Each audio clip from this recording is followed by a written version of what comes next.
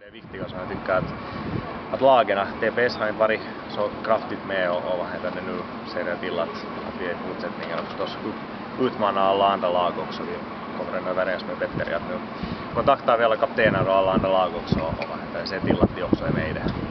Det är en viktig sak.